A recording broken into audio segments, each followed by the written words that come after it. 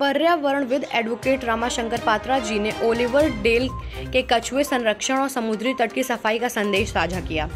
आज पर्यावरण अधिवक्ता रामाशंकर पात्रा ने समुद्री तट की सफ़ाई, ब्रह्मागिरी ब्लॉक के अरककुड़ा गाँव, समुद्र तट के पास, अरककुड़ा गाँव के बच्चों और वयस्कों के सहित मिलकर ओलिवर डेल कछुओं के संरक्षण पर एक संदेश साझा किया है। उन्होंने और सारे मौजूदा बच्चों ने, बड़े सभी ने मिलकर समंदर किनारे एक प्रतिज्ञा भी ली। जिसमें उन्होंने पर्यावरण, कछुआ, समंदर किनारे बसे इलाकों को साफ़ और सुरक्षित करने का प्रतिज्ञा किया। साथ ही कछुओं का भी खास ख्याल रखने का भी योजना बनाई। इस दौरान काफ़ी छोटे बड़े बच्चों ने भी भाग लिया था। पूरी से हमारे संवाददाता रविंद्र कुमार के साथ प्रिया की रिपोर्ट।